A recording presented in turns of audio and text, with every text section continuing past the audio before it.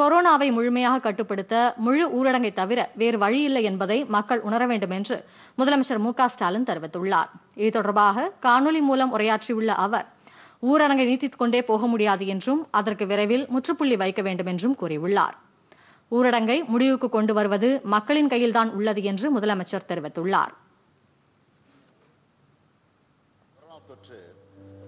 ஒருத்தர்கிட்ட இன்னொருத்தருக்கு பரவுது.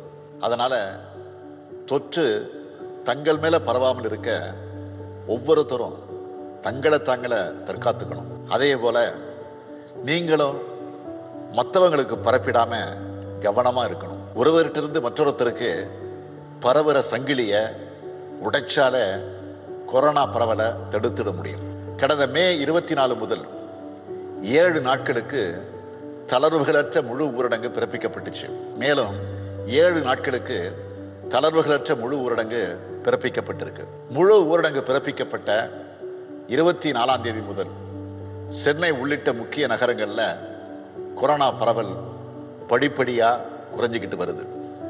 எனவே கொரோனாவை முழுமையாக கட்டுப்படுத்த முழு ஊரடங்கை தவிர வேறு வழி இல்லைங்கிறத அனைவரும் உணரணும். அதனால அரசின் கட்டுப்பாடுகளை முழுமையாக கடைபிடிக்கணும். ஒரு சிலர் மீறினாலும் அதனால முழு பயன் கிடைக்காம போயிடும்.